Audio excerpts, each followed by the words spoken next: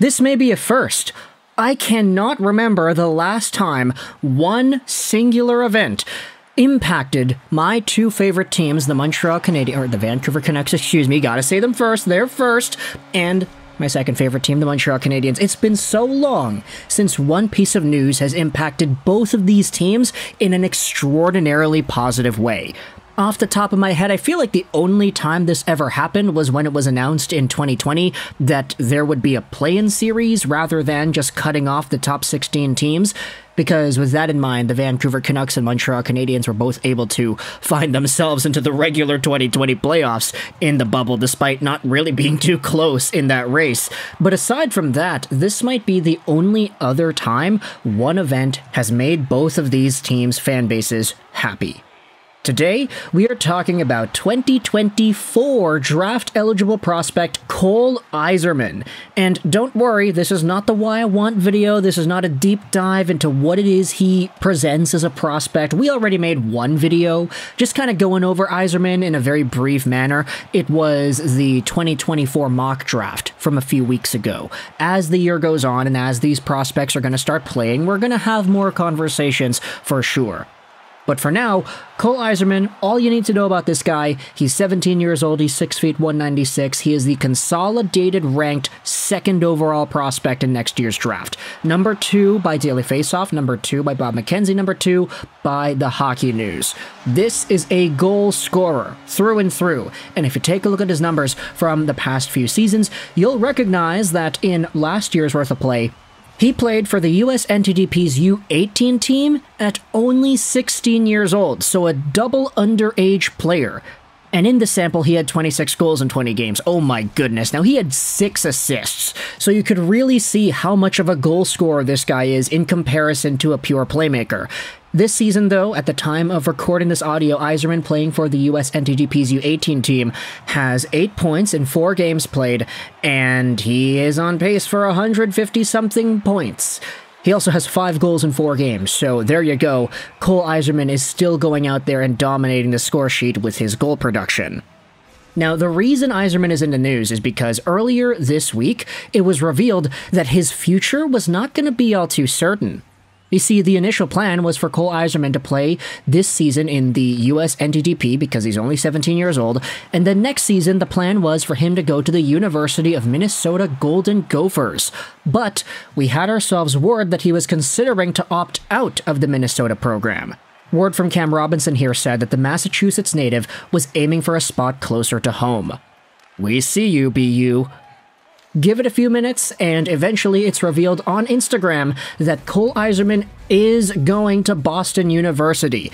And if you take a look at his season and where everything's projected to go, he will be old enough to first play for the BU Terriers in 24 25. Now, I get it, there are some things that might be wrong with that sentence that I just said, but we'll get to that as the video goes on. The reason this is a really big deal is because the BU Terriers have two prospects that I think Canucks fans and Canadiens fans care so much about. On Montreal, you have Lane Hutson, who was an absolute stud last season in the NCAA and who is looking to continue his reign of terror amongst the collegiate scene. And most likely going to be his D pairing is Vancouver Canucks prospect Tom Willander, taken in the 11th overall spot in this year's draft. Now, Willander is going to have to sit out the first game in the season because he had played pro hockey in the SHL last year, but Willander is going to go over to BU and not only be surrounded by guys like Lane Hutson, who are very good on the point, but guys like Macklin Celebrini and Cole Eiserman, too. Now, Willander is not going to play one year of NCAA hockey and then come to the NHL right away. He'll probably spend a few seasons in the BU system before coming over and signing a pro deal, which gives him so much opportunity to feed off of what it is Celebrini and Eiserman are going to be able to do. Not to mention that Lane Hutson that is going to be doing his thing in this upcoming season as well. Cole Eiserman, who is a top prospect in 2024, decommitting from Minnesota and going over to BU, where the first overall Macklin Celebrini is already going to go, makes this team an absolute powerhouse. They were arguably already number one in the rankings, but with this addition, things could be changing for the better. Now, the thing is, when you think about the situation over here. I get some of y'all might be thinking, wait a minute, Cole Eiserman was born in August of 2006. He's 17 years old.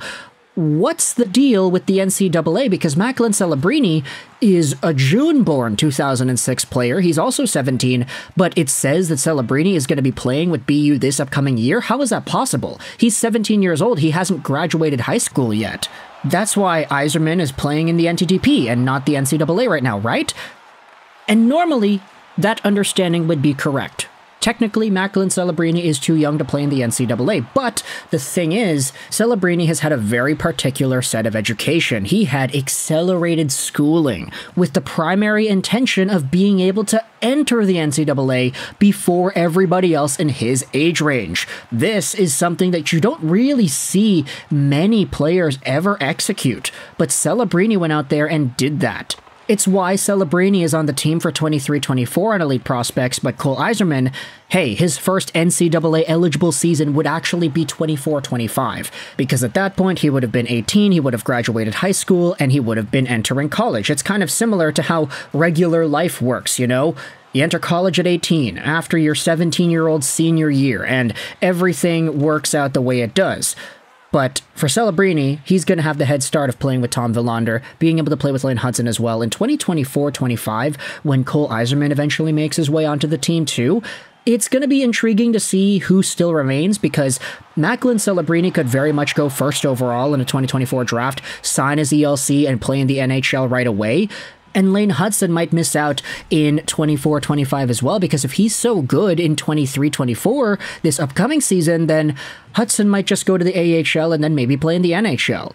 For Tom Willander, though, Vancouver Canucks prospect, this is pretty good because this will give him an opportunity to pretty much play with everybody. He'll play with Celebrini, he'll play with Hutson this upcoming year. If those two guys leave and then Cole Eiserman comes in, then okay, that's nice to see Eiserman gets some time with Willander as well. It's going to be nice to see Willander racking up the assists because just getting the puck up to these guys and having Eiserman score like a hat trick a game is going to be really great for his point production.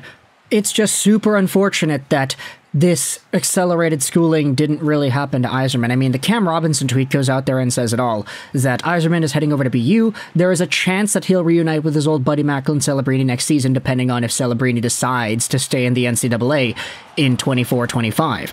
If Celebrini decides to stay, though, and you have Eiserman Celebrini together, then you have yourselves a recipe for success. The reason we're saying that is because, hey, firstly, it's a great pairing. Macklin Celebrini with the playmaking edge and Eiserman with the goal scoring, but also because this is a formula that works. And it worked in 2021 when you had the Shattuck St. Mary's U18 prep school play Eiserman and Celebrini on the same line. Now, you also had William Whitelaw, Columbus Blue Jackets prospect that was eventually taken in the 2023 draft third round, also play with that squad, but right away you could see a connection is being made there. And for Tom Willander, Vancouver Canucks prospect, he is going to be in the backseat of everything, just watching and feeling everything as it goes by. For Lane Hutson, Montreal guy, it would be nice to see him play with Eiserman if he spends another year with BU, but for now, I mean, just having Celebrini as the guy to pass the puck up to and feed off of, that's going to be crazy. If all these guys, Celebrini, Willander, Eiserman, and Hutson all just decide to stay for another extra year and dominate the NCAA in 24 25, then that would be the best case scenario for all of us fantasy prospect nerds who want to see how many points these guys could get together. Because one power play unit of Eiserman, Macklin Celebrini, Hutson Willander, and whomever else sounds like it could tear down and take over the entire country in terms of NCAA play. So let me know your thoughts in the comment section below. How do you feel about Cole Eiserman heading over to BU? Again, he can't do this right away. He'll have to wait till next season before he's eligible to play in the NCAA. Macklin Celebrini had accelerated schooling, which is why he's able to do that now. If Celebrini decides to stick around a year after his draft eligible season and play even further with all these guys, it would be beneficial as hell. But let me know your thoughts in the comment section below. If you're a Canucks fan cheering for Willander, if you're a Canadiens fan cheering for Hutson, how do you feel about Eiserman? And Celebrini potentially being reunited with this team. Thoughts in the comment section below. I hope you enjoyed this Vrishaj Rolls 99. And bye.